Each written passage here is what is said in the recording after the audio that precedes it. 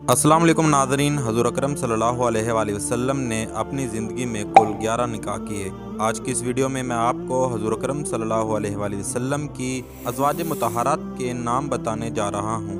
हजूर अकरम सल्लल्लाहु अलैहि वसल्लम ने पहला निकाह हज़रत खतीजा रज़ी अल्लाह तहा से किया, दूसरा निकाह हज़रत सौदा से, तीसरा निकाह हज़रत आयशा से, चौथा निकाह हज़रत हफ्सा से, पाँचवा निकाह हज़रत जैन बिनते खजीमा से छठा निकाह हज़रत उम सलमा से, सातवां निकाह हज़रत जैन बिनते हजत से, आठवां निकाह हज़रत जवेरिया से, नौवां निकाह हज़रत सफ़िया से, दसवां निकाह हज़रत उम हबीबा से और ग्यारहवां निकाह हजूर अक्रम सल्लल्लाहु ने हज़रत ममूना रज़ी अल्लाह तह से किया।